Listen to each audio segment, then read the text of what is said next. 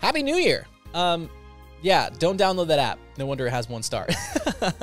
All jokes out of the way, if you click this video, you're probably getting hit with some sort of objection on your sales call, whether that's, I need to think about it, that's too expensive, I need to talk to my spouse or my partner, I need to talk to my dog, I need, whatever the objection is, I promise you, we're gonna go over it in this video and break down exactly how to get past it. If you go through this video and really take it all in, you will be on a much better path to 15, 20, 30, even $50,000 a month because you're gonna know how to get past the objections that ultimately are holding your prospects back from moving forward with you on your sales Now you might be saying, Aaron, that's a pretty hefty promise. Well, it's actually not me doing this training. It's going to be the founder of the Remote Closing Academy. Heck, the guy that basically created remote closing in general is going to be doing the training for you guys. And it's from our in-person event from about two weeks ago that we had over 150 remote closers come in person and just learn and grow and network and become honestly just better salespeople. And keep in mind, guys, those people paid to be there, and you're gonna get a free sneak peek here on the YouTube channel. So this is gonna be a training that you come back to over and over and over again in 2023 if you're someone that's looking to get into remote sales or better your remote closing career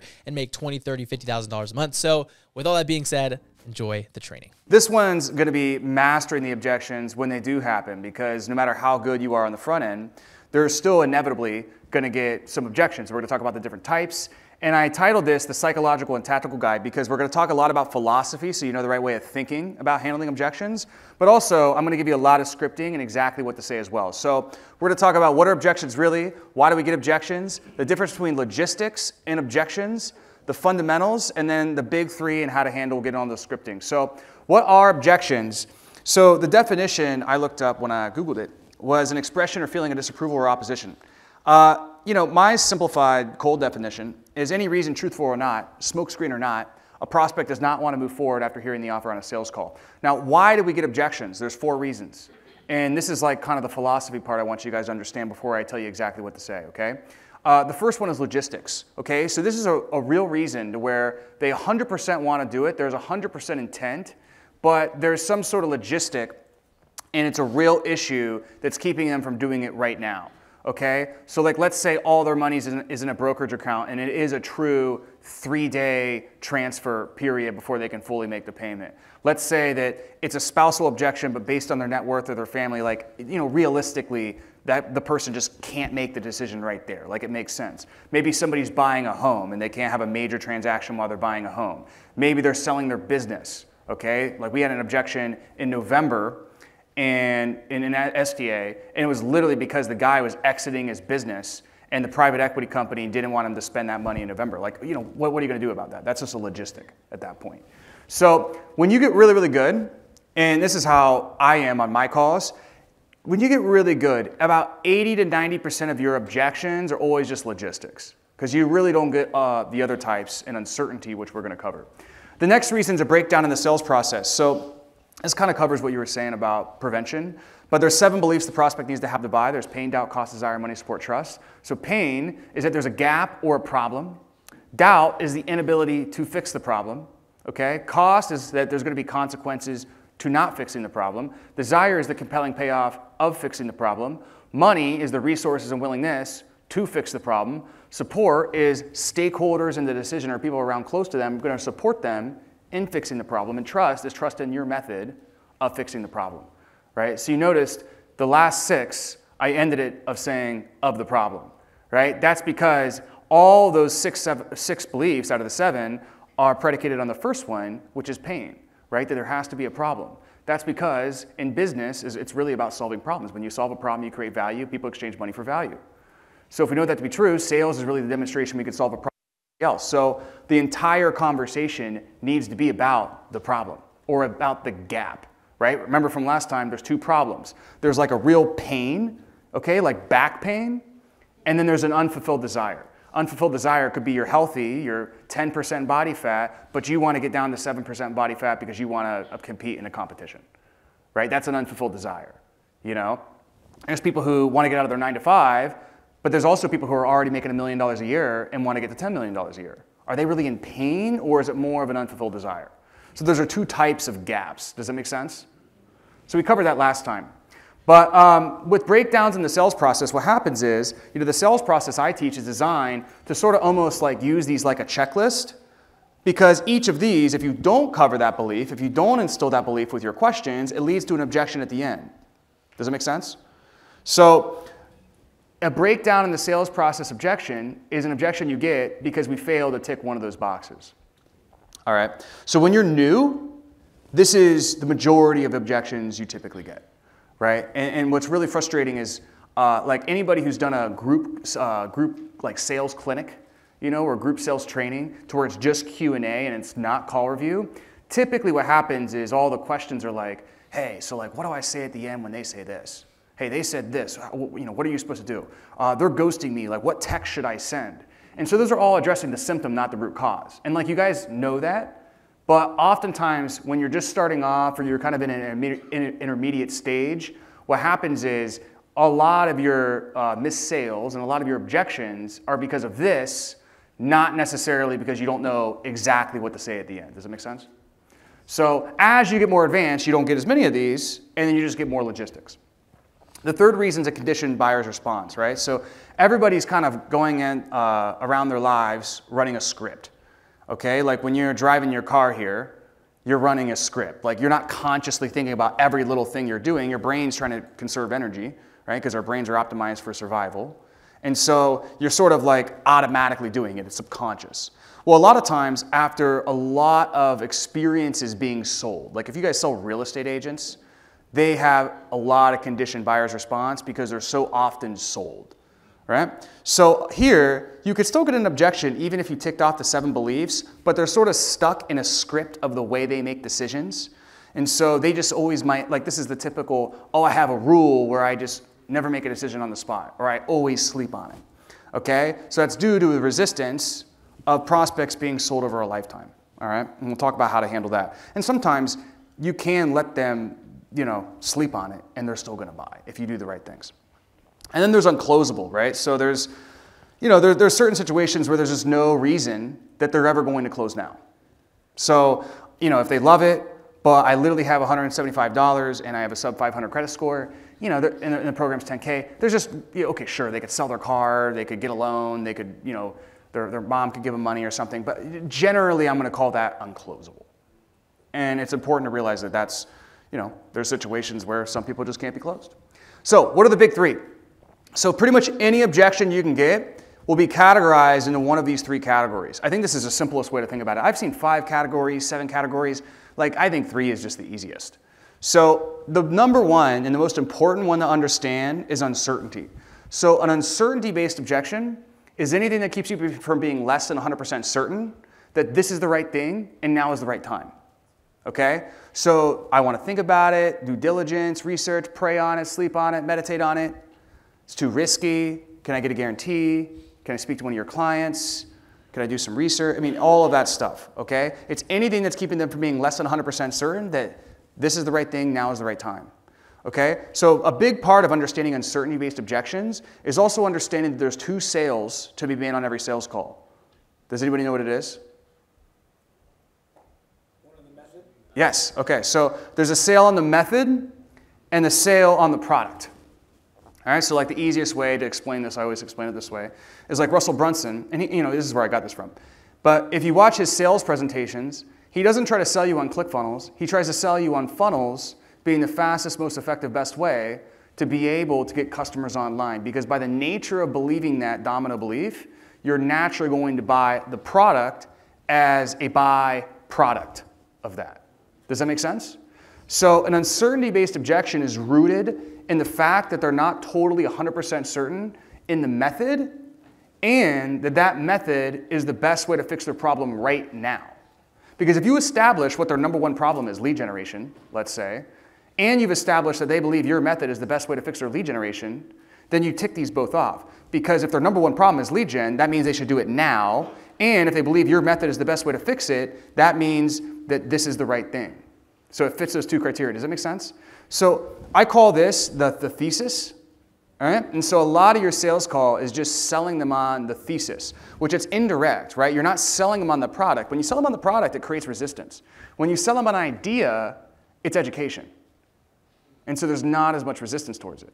But you have to, like pre price drop, a lot of preventing objections is all about selling them on this is the right thing, now is the right time. This method is the right thing to get the desire, and it's also exactly the number one problem you should be focusing on in your life right now. Okay? So we're going to talk about how to do this. This is just kind of the philosophy behind it. So uncertainty is very important. Uh, we'll cover that in the next slide. Financial is, you know, you guys know what that is. I don't have the money, I can't afford it, all that stuff, right? So there's three types of financial objections. There's smoke screens, which are fake objections. That's, that's when they say, oh, it's too much, or oh, I don't have the money, but it's really just uncertainty. Okay? Then there's logistics.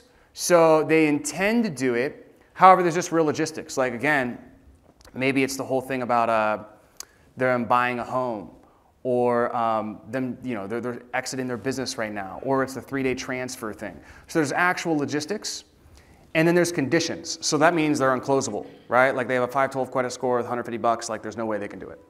So those are the three types. The main type, the main thing we're going to cover is how to one, figure out if it's a smokescreen, and then two, determine if it's logistics and conditions. So we work in that order. So the scripting I'm going to give you is going to help you do that exactly.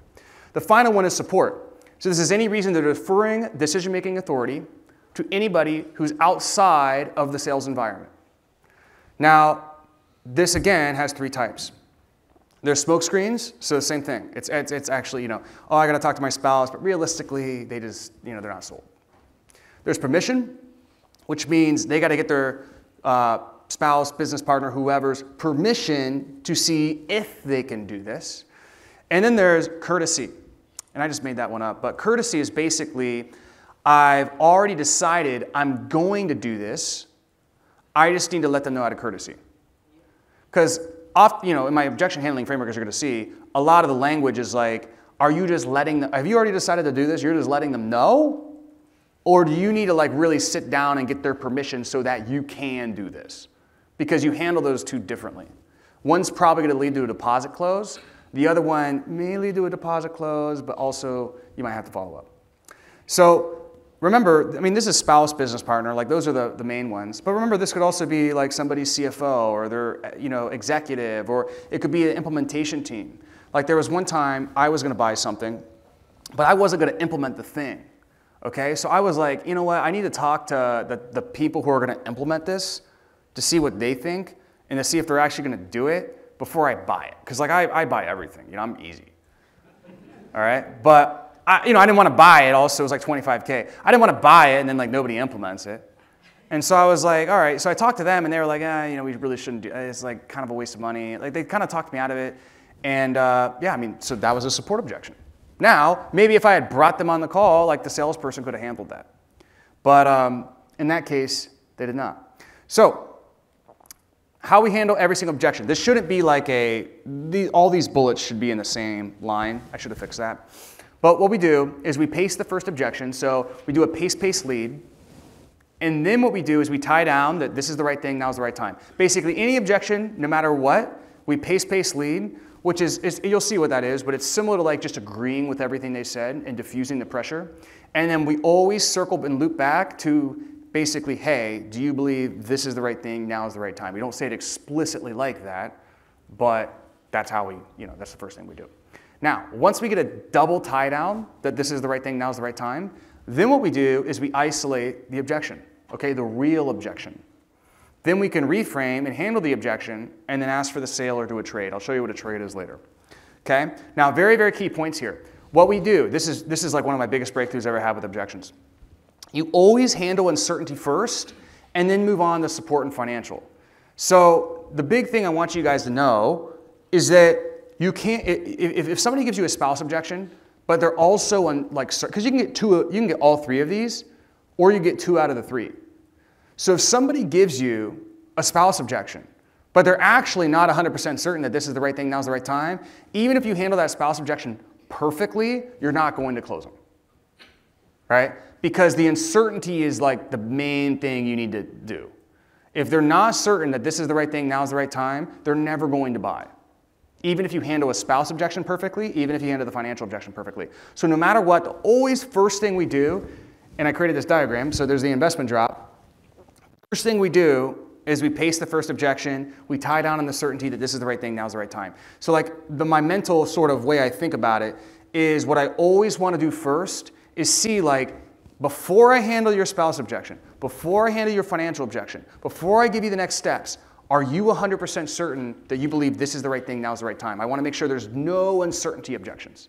Because if I have somebody head over heels believing that my method and my product is the right way to getting to desire, if I have them there, then getting through the spouse and financial objections is not objection handling, it's just collaboration. We're just going through logistics together. You see what I mean? It's very key. So you'll see in all of my scripting frameworks, that's exactly how I do it. Does this make sense to everybody? Okay, cool. So another key point is we want a pace-based lead opposed to rebuttal. So a rebuttal, like the, the classic rebuttal, is, uh, oh, I can't afford to do it. You can't afford not to do it. You know? Uh, I want to think about it. What are you going to think about? Like, no, don't do that. You know, that's just bad. All right? So that's a rebuttal. What is a rebuttal? I mean, just imagine, right? You use your common sense. Do you feel like when you get a rebuttal, do you feel good as the prospect? Do you feel heard? Do you feel listened to? Do you feel like the pressure in the conversation increases or do you feel like it decreases? You know? Whereas pacing the first objection diffuses the pressure. And the other thing is, too, is a lot of people, when they give you some resistance, they're kind of seeing, like, okay, like, let me see, like, they're, they're kind of pressing up against you, and they're going to see what comes out. And they're going to see, okay, is this like, is this person going to get frustrated with me, or are they going to understand? And so it's very, very key. You're going to gain a lot of trust if you pace the first objection and pace-based lead and diffuse the pressure, opposed to um, giving rebuttal. Rebuttals don't work. Okay? Another key point. Do you know what they really mean? All right? So oftentimes, you know, their first objection or the first thing they say doesn't make any sense, you know, and, and you don't know, you don't even know what they said. All right? Even if it logically sounds like they're saying something logical, like you don't really know what they mean by saying it. It doesn't mean they're wrong or they're, they're dumb or anything. It just, like, the communication is unclear. So the first step is always making sure, and this goes with your discovery, this is just almost an overarching sales principle, right? This goes with your discovery, this goes with your objection handle, but especially like the first thing they say after the investment drop, you gotta make sure you understand very clearly what that communication means. Okay? So let's just say they say, like I, I just wrote an example here. Let's say you drop the investment and they say, I like this a lot. Uh, I just really need to gather myself on this one. What does that mean? You know, does that mean you need to gather, gather your finances? Does that mean you, you're not sure this is going to work for you? Does that mean you need to gather your you know, business partners? Like, what, what does that mean? So you would say, cool, you know, so no problem.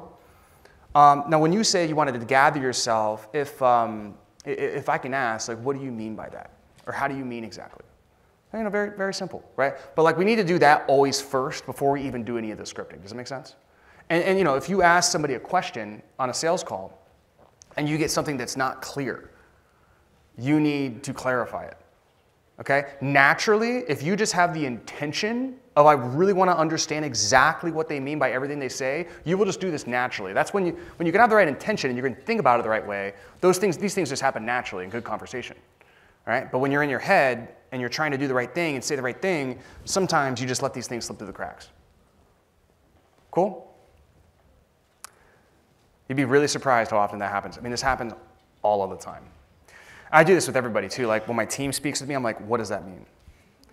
Tonality. So you also want to have your energy very grounded, centered. I always think of it and visualize it like the oak tree, and your roots are going deep into the ground. Okay? When they give you an objection, it doesn't throw you off and make you emotional or trigger you. You're just anchored in the present moment. That's very, very key. Okay, that also diffuses pressure and builds trust. Again, you want to utilize what they told you at the beginning of the call. We had a good conversation about this earlier. And um, this is why what's really key, like I get so angry when I, even my team, if they don't take handwritten notes, okay? Or, you know, at least take notes electronically on a Google Doc. Because your word's garbage, but the prospect word is gold. And they're going to give you this gold all throughout the conversation. But guess what? In, you know, you might remember like the best one or two things, but you're not going to remember all of the things unless you write it down. So it's very, very, very key. And I think the big objection to this is people say, well, you know, I'm on Zoom, and if I write it down, they're not going to think I'm listening. It's like, what? Because you're like not looking at the monitor? I mean, like I, I know if I have, okay, so for instance, I had a conversation with uh, the head guy of Patrick Bet David's team last week, and I just like, you know, um, I was just like going, you know, I was like fire hosing information. And this dude was just taking notes the entire time. Like, does that demonstrate that he's listening or not listening? Obviously, it demonstrates that he's listening. And it's, it's very easy. Like, I, I will say, especially if you have six call, sales calls in a day, you know, we've all had this experience where your eyes start to gloss over. Especially when you're like, man, I've heard this same exact thing like 10 times. You know? Because, like, you'll, you'll start to see and pick up these patterns of, like, the same thing every time.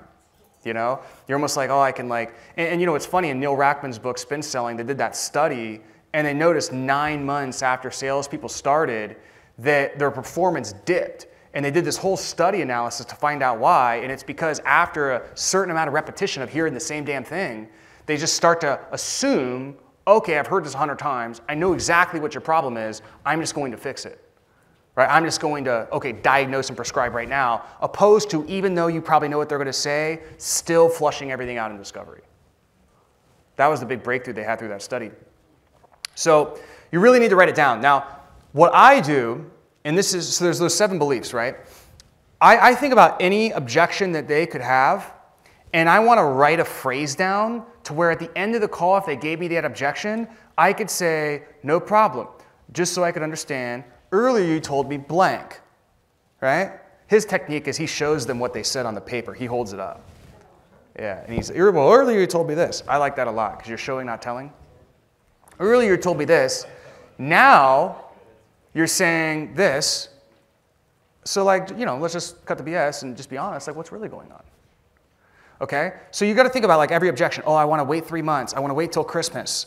I uh, don't think this is worth it. I don't think this is going to work for me. Like, think of all the objections this person could have, everything that could go wrong, and then make sure you have the right data of their word, not your word, so that you could say this at the end. The thing is, is if you get the data before the objection, if you get that on the front end in your discovery, so that you're like, man, they could throw anything at me, I have their words to throw back at them to handle anything.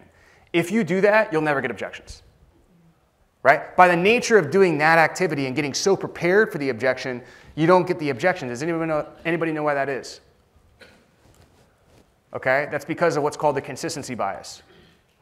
So, an influence, right? You guys have read Influence by Robert Cialdini? Right? Great book. It's worth reading. That's like one of the books you reread a lot. If you guys know Alex Hormozi, that's like one of the books he reads like a couple times a year. I do too. It's like one of my favorite books. The first principle he talks about in influence is the consistency bias, right? It's our drive to want to appear consistent. Okay? So, when you get somebody stating things out loud in the beginning of the call, it's incongruent for them to not hold to that identity they set for themselves on the beginning of the call. I'm sure one of the things Chase is going to talk to you guys about is labeling. You guys have heard of labeling, right? So, you know, um, I'll let him talk about it. But it's basically you're giving somebody an empowering identity on the front end. And then when you label their identity, identity is one of the highest drivers of human behavior, right? So they're more likely to be congruent with those actions.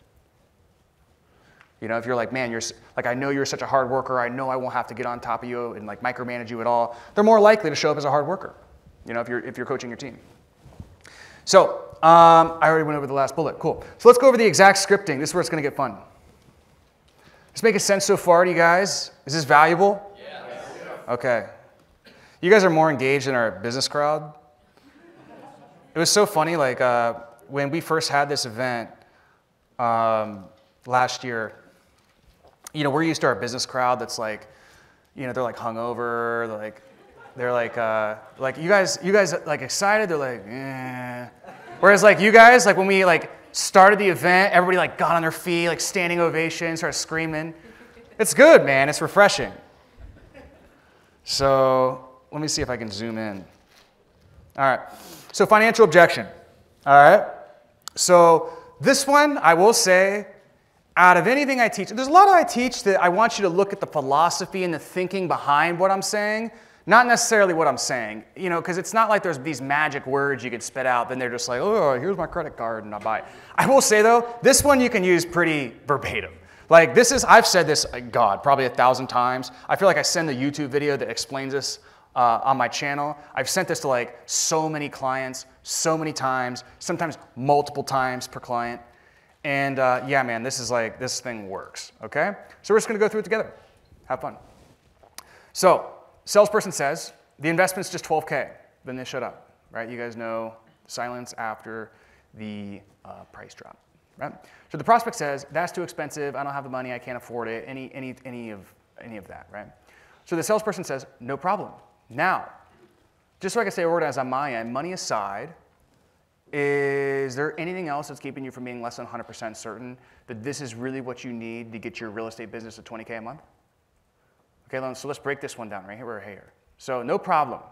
So I got this from Eli, but um, I've always, I've always, always used this once I learned it.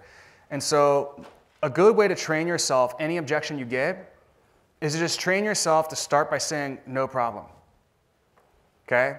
Because you're not really agreeing with them, but you're just saying, like, no problem. And it just diffuses the pressure. So you say no problem, and then you imagine in your mind the oak tree. See, if you guys can take away anything from this, I mean, everybody can start doing that. That's like pretty easy. So that diffuses the pressure. It's much better than saying, well, what do you want to think about? You can't afford not to do it. Okay? Now. So now is a word that, you know, NLP brings them back to the present moment, also breaks their pattern. If you, if you guys listen to my sales letters, I'm constantly like, now, now, now. It's also just how I talk. Now, just so I can stay organized on my end.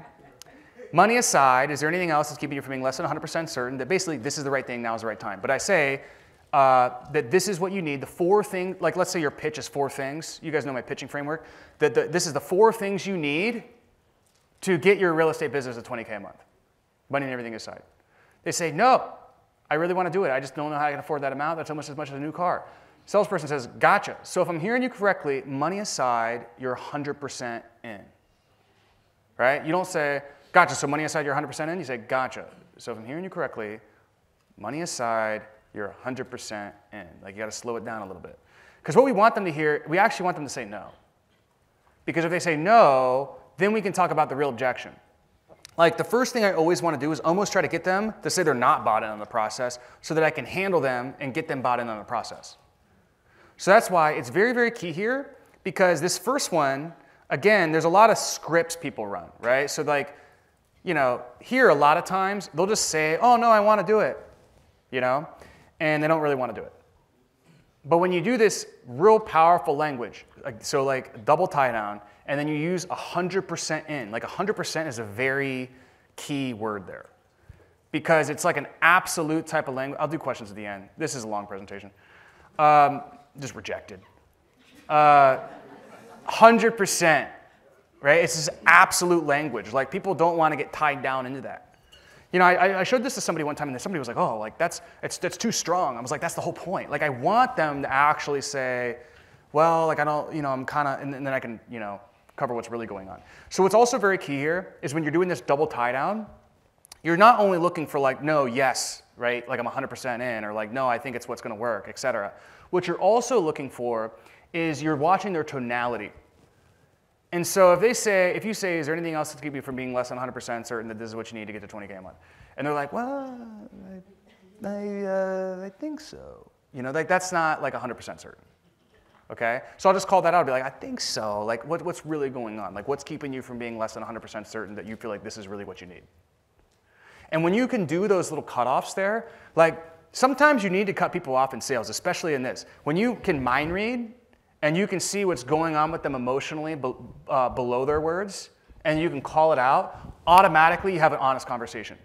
Right? So Tony Robbins, this is what he does when he gets like people. I learned this when I, I watched this uh, audio. I don't even think I was supposed to have it, but it was Tony Robbins having this intervention with the Spurs team way back in the day. This is old school and he's uh, he's walking through like how he had this intervention and like all the things that he did and all the things that he said, and basically like none of these guys like they thought he was just some motivational like BS speaker, You know, it's not like me getting in front of up you know, with you guys. Like you guys are all like engaged, want to learn. You know, he had like Dennis Rodman, like arms crossed, like hungover, like trying to sleep in the middle of when he was talking. You know, it was like all this stuff he had to deal with. And he goes through like some of the techniques he used to really open them up because essentially, like they had this crazy breakthrough by the end of their day or two with Tony or whatever.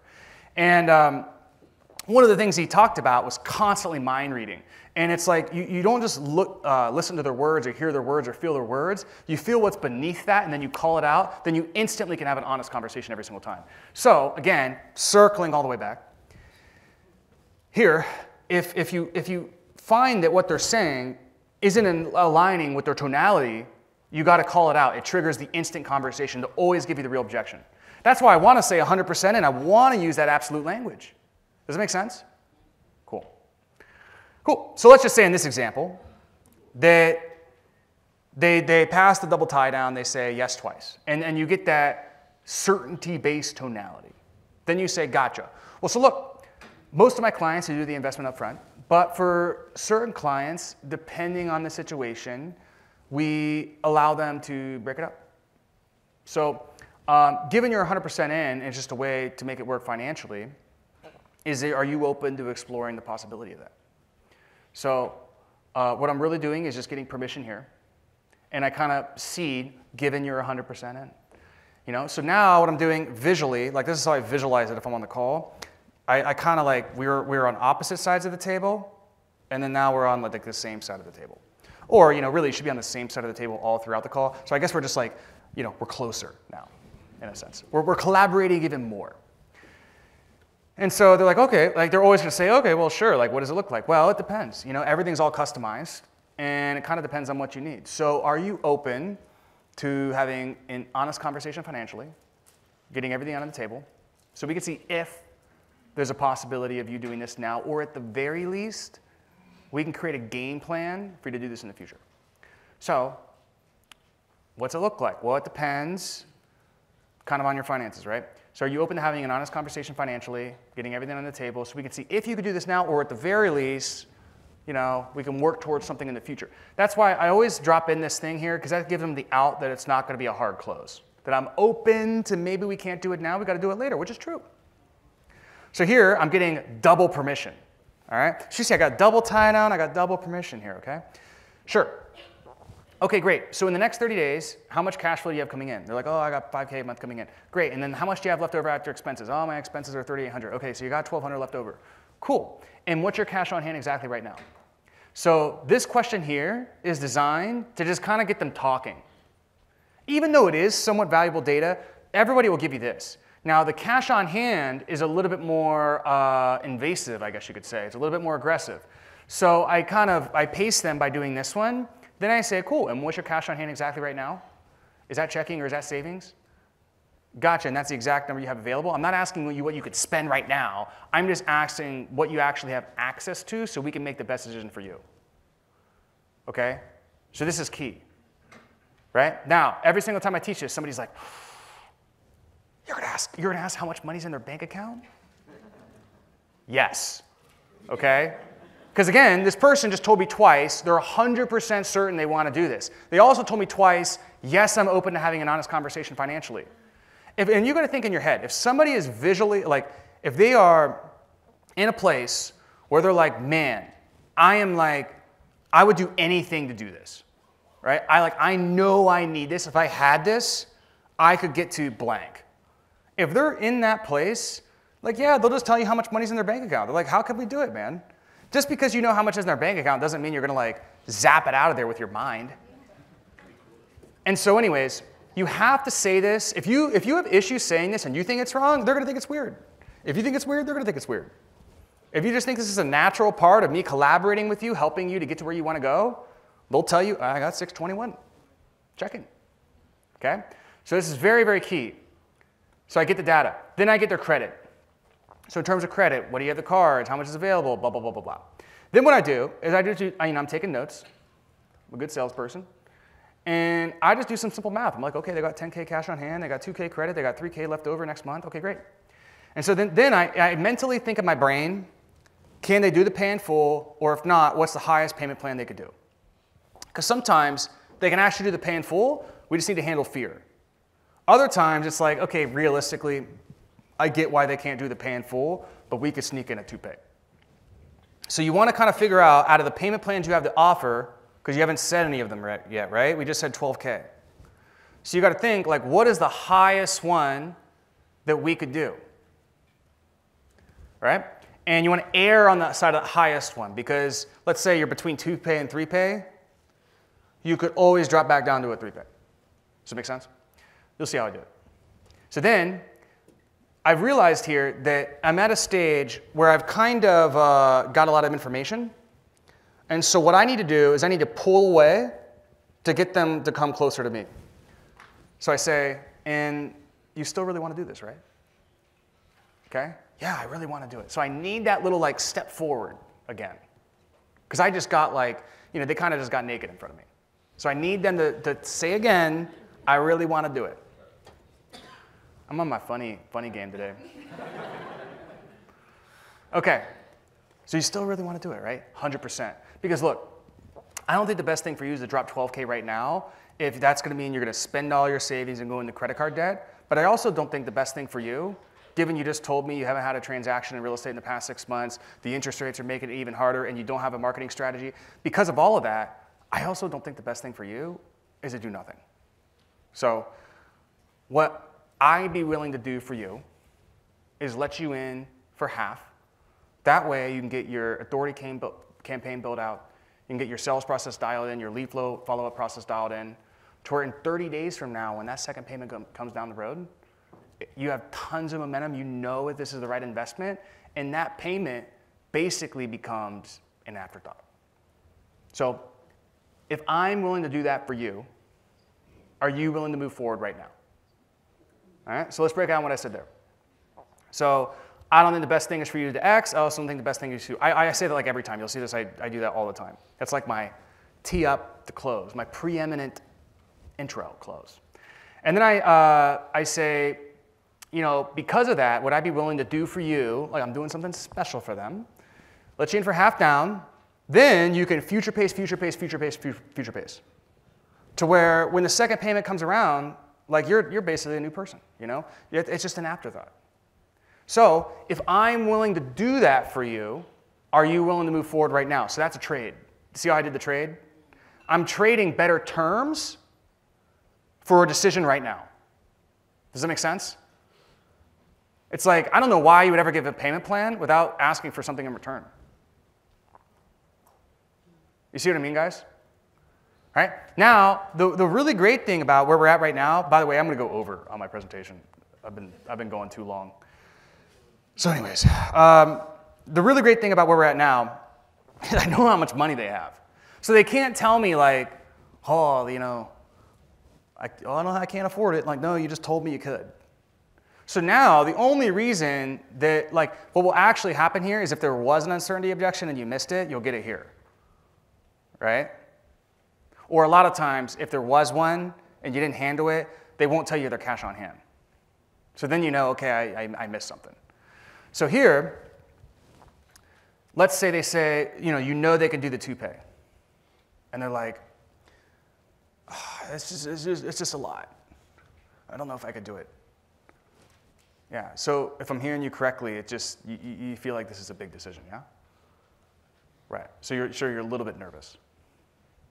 Cool, like, well, I totally understand. And to be honest, I'd be frightened alive if you weren't a little bit nervous. I think you were a freaking alien.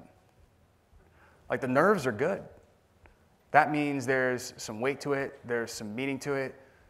Nothing ever great in this world was built by somebody who wasn't a little bit nervous at first. But the real decision you have to make is are you going to let those nerves guide your decision making to contract? Or are you going to feel the fear and do it anyways? Are you going to feel those nerves and going to expand? And in doing so, open yourself up to new possibility. Which one of those two people do you want to be? So, what I did there, just right off the cuff, I kind of made that up, is when I when they start to get to the point in the sales call, objection handling process, where, where you really want to get them, especially if it's somebody who won't make a decision right now, but they like know they want to do it, is you want to give them the objection that you want to handle, and then you handle it. And the version of the objection you always give is a basically, you can't say, is the reason you're not moving forward fear? Because they're gonna be like, no. no. Mm-mm. But you, it's basically what it is. It is fear, right? You can't say, are you nervous? They're gonna be like, no. So what I say is I say, it's a big decision, isn't it? Yeah, that's, so like, especially if you're like, so like, oh, okay, well, what's keeping you from being less than 100% certain? Like, they're like, uh, I don't know, I really want to do it. Uh, it's just a big decision, isn't it? Yeah. I totally get that. It is a big decision, you know? And then you can handle basically that objection. Does that make sense? So when they don't know what the objection is, it's always going to be the fear, which then you just give them the big decision and then you handle big decision. You gave them the objection you want to handle, and then you handle it. Because now you're coaching them on successfully making decisions correctly, not really coaching them on is your product going to work or not. You're coaching them on how to make decisions. Does this make sense? Once, you, if you, once you're good, like I knew for me, if I could get the call to that point where it's no longer about the product or the method, it's just about the way you make decisions and, and, and going through fear and going through nerves, I mean, 99% close rate, especially when you master this stuff. Does it make sense? Cool? You give the objection, you, you give them the objection you want to handle, then you handle the objection you wanted to handle. So then once I get this down, and, and let's say like let's say you handle the nerves and then they still were just waffling, then what you could do is you could say, well look, what if we do, and then you go down to a three pay, and then you say, if we do that, will you not only move forward now, but and give me a case study when you get results. So then we up the ante on what we're getting in return. Now we got the decision now and a case study. Does it make sense? So we're, we're trading. Cool. So let's move on. We got support. Was that helpful for finances?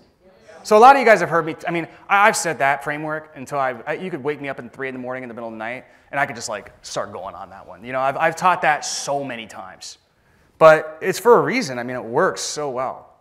Like once I, I, I swear, I would close 50% of my closes literally saying those exact words. Always. So support. So the first thing you do here is, is again, we're going to pace the first objection. Okay, that sounds great. I got to talk to my spouse. No problem. So aside from letting your spouse know, is there anything else that's keeping you from being less than 100% certain that this is really what you want to do? Cool. No, I really want to do it.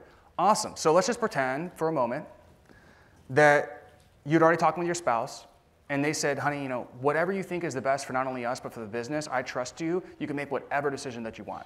Imagine you'd already had that conversation and we're talking right now. Would we be 100% handling the investment together and then moving forward right now? Gotcha. So talking with her aside, you're 100% in. So I did a triple, triple tie down there. But you see the point. Like, I really want to know is there anything else? Or do you really just got to talk to this person? Does it make sense? Okay? Now, if there is anything else, that's, that's uncertainty. We're going to cover that last. So, then we're going to move on to step two. Step two's the two spouse objections. So, they're like, no, no, no, I really, really want to do it. It's just the spouse, you know, just, uh, just got to talk with them. Okay, cool. Awesome. Well, I totally agree with you. No problem at all. Now, just for clarity's sake, is this like a respect thing to where like you're 100% going to do this, you're just kind of letting them know beforehand out of respect? Or two, do you really guys really have to, you know, have a serious sit down conversation and you really got to get permission and buy-in from them to be able to move forward? So what am I doing here? You guys remember from earlier? Courtesy versus permission. Right? Now, unless they say, nah, nah, like I'm 100% going to do it, just really got to let them know out of respect. Like they kind of correct you here. Almost every time it's a permission. Nobody wants to say, yeah, I need permission. You know, nobody wants to say that. So if you hear any hesitation, it's the permission. Okay? So then we go to permission. So um, then what we got to do is if we know, regardless of which one it is, then what we do is we start to do a little mini information gathering. Okay, well, what do you, and, and this is, I actually copy and pasted this from when I sold realtor, realtors. So it's all, uh, it was usually always like these old guys who had wives. So I said, uh, what do you think she'll think about this? Okay, what do you think? Oh, she'll love it. What do you think when she's going to hear the investment? Oh, she's going to say it's a lot. Okay, well, how do you plan to handle that? So I love to answer or ask these two first because you'll get, you'll get a totally different response to this one than you'll get to the one when, when they hear the investment. Is are they supportive of you trying to fix blank? Are they supportive of you trying to get your real estate business back to one transaction a month? Do they know you're on this call? Okay, what would they think if they knew you were on this call? And then if it's just a uh, if it's just a respect thing, cool. Can you talk to them right now? Can you call them right now? If it's a permission thing, that you, you're not usually not going to fly. So after you do your mini discovery, as you're doing this mini discovery, you're kind of flushing out the truth of the situation, right? And what you really want to do here is you want to determine in your brain, am I going to, because it's like there's you sort of handling the sales call, and then there's you like sort of the puppeteer, like mastering like where am I going to take this thing from like a meta level. Have you guys ever felt that way? To where you're like so in the zone where it's like you're, you're, you're actually like saying the right things, like you're, you're talking to the person, but then there's like a different version of you that's like, a, like meta, and you're like directing things, or am I just weird? Is that weird? Maybe it's like some psycho ability or something. I don't know. I heard somebody else say it, and I was like, man, I'm not psycho. That is a real thing. So, anyways, your, your, your meta version of yourself needs to decide is this a deposit close, or am I going to do a follow up close? And I'm going to go through both closes. Deposit close. Perfect. So, one last thing before we hop off. Can I give you some advice of how I would handle this if I was you? Okay, cool. Well, look, I mean, there's really two ways that you can go about it.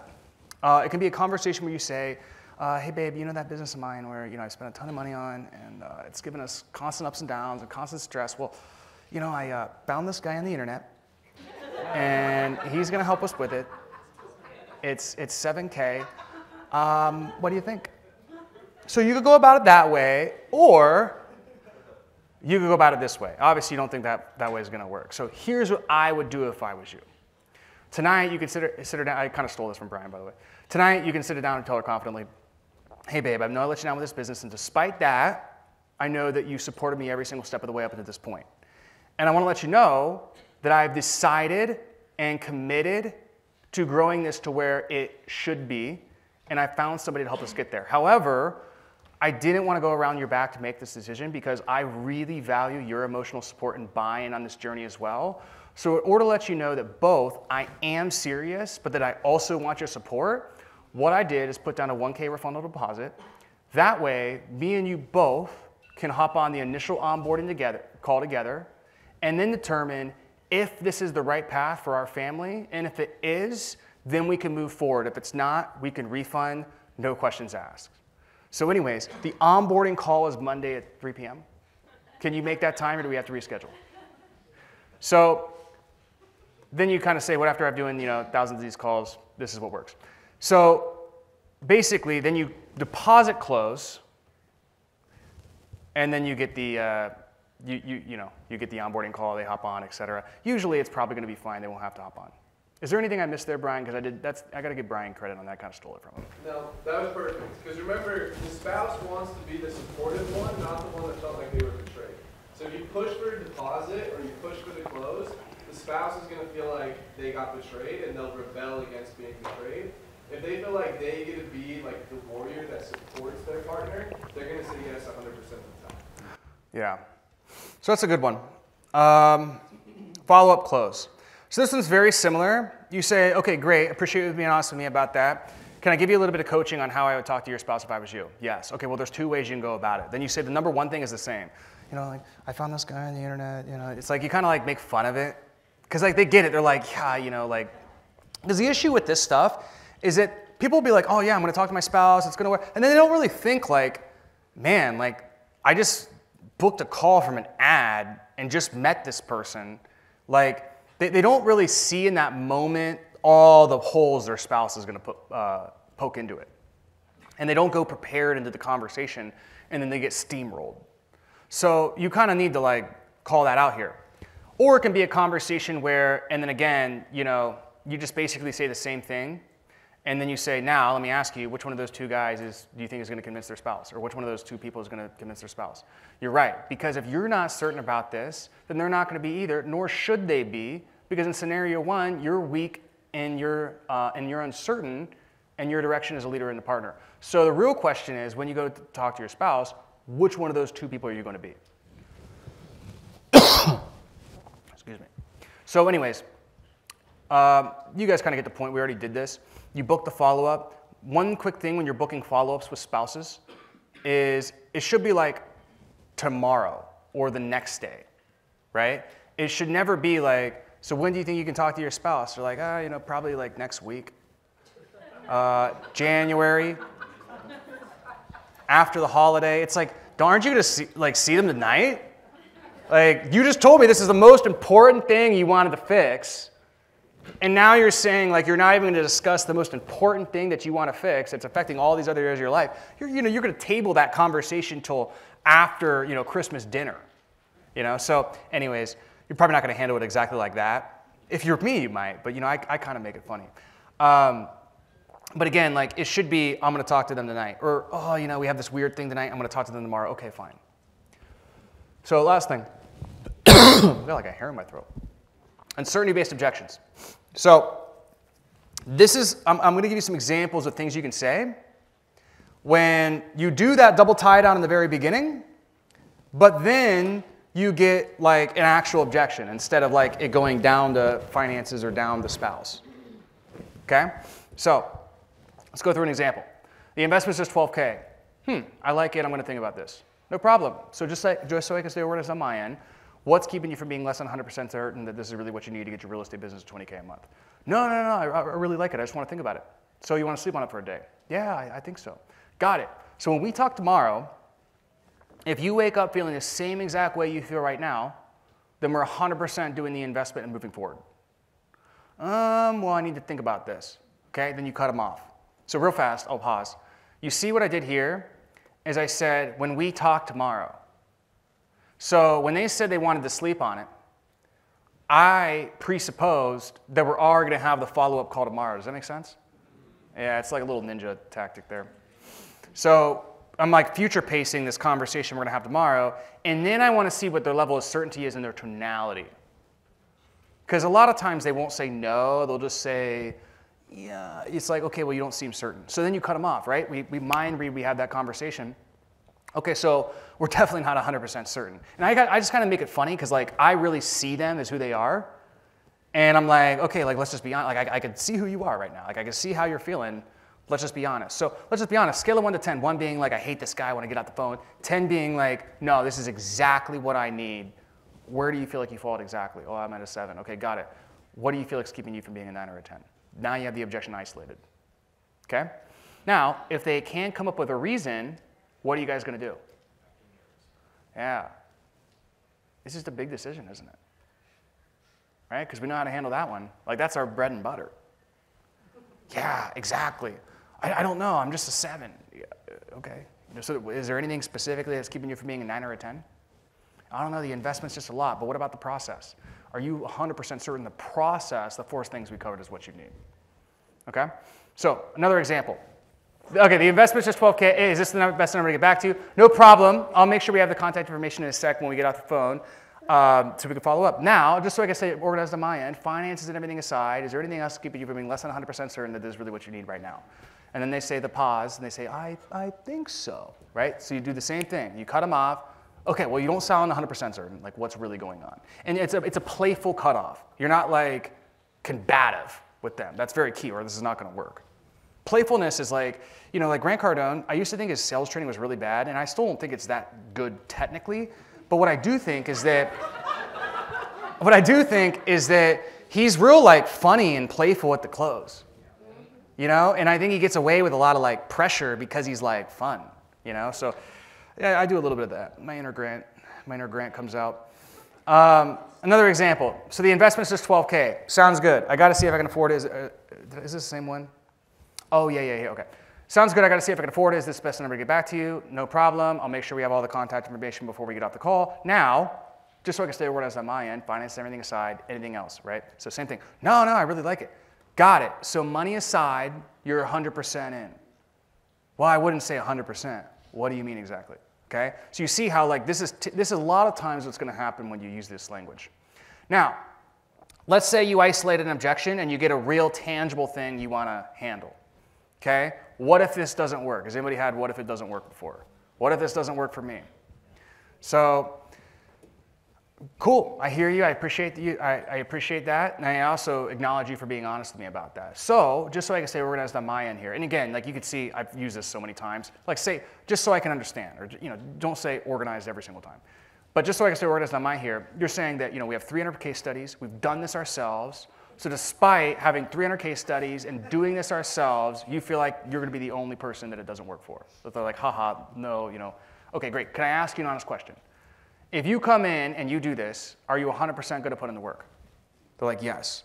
Okay, and then two, when you come in and you run into a problem, because there's no guarantees in life except for when you go after what you want, and you get out of your comfort zone, there's going to be problems. I can guarantee you that.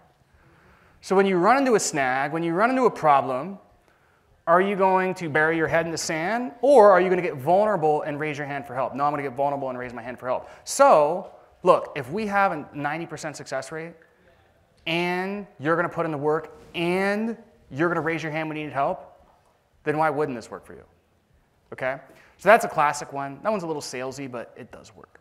So I need to sleep on it. So again, we're going to pace the first objection.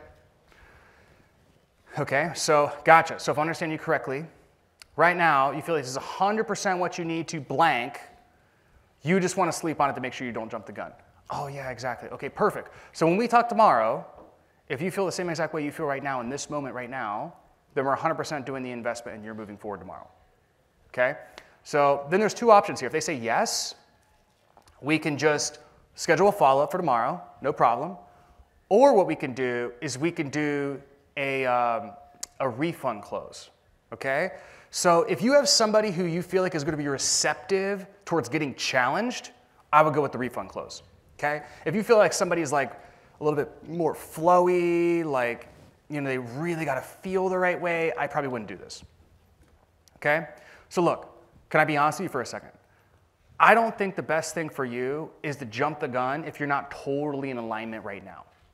I also don't think the best thing for you is given that your real estate business hasn't had a transaction in six months and you're almost like 50% down of where you were last year, I also don't think the best thing for you is to come on this call and know you need to make a commitment and not make it.